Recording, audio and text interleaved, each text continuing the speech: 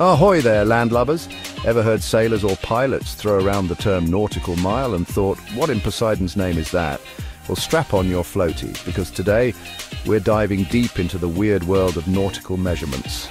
Because apparently the normal miles we use on land just aren't good enough for the ocean. So, what is a nautical mile?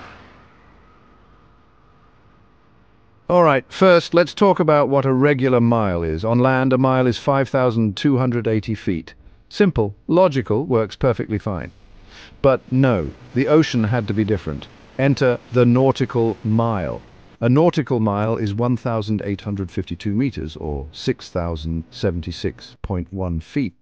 That's about 15% longer than a land mile, because when you're on a boat, everything has to be extra now, you might be wondering, why? What's so special about the ocean that we need a whole new mile for it? Well, I'm glad you asked.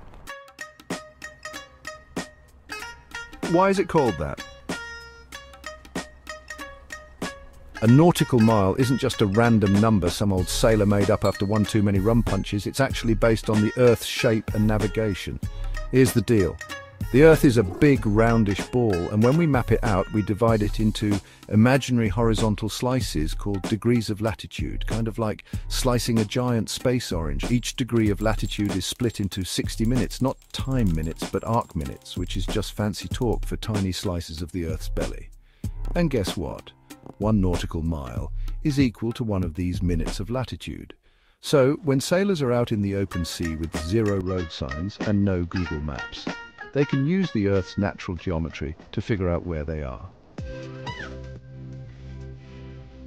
Why should you care? Great question. If you're just walking to the store for snacks, you'll never need a nautical mile. But if you're sailing the seven seas like a true pirate, flying an airplane, yes, pilots use nautical miles too, or trying to sound super smart at a party, then this is a very handy fact to know. In aviation and maritime navigation, distances are always measured in nautical miles. Why? Because it syncs up perfectly with latitude and longitude. Instead of using weird land-based measurements that don't work on a curved Earth, nautical miles keep things consistent across the globe. Okay, let's talk about knots, the speedy cousin of the nautical mile. Now, if you've ever heard someone say, we're going 20 knots. You might have thought, well, that boat really likes tying knots. Is that how fast they can tie their shoes? No. A knot is just one nautical mile per hour. That means if a ship is going 10 knots, it's moving at 10 nautical miles per hour. Fun fact, this term comes from an actual old school method sailors used to measure speed. Back in the day, they would throw a rope with knots tied in it overboard, let it drag behind the ship for a set amount of time, and count how many knots passed through their hands and that's how knots became a unit of speed.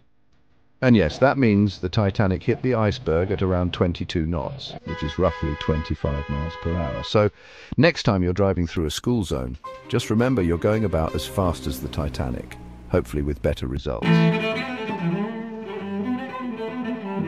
So, what did we learn today?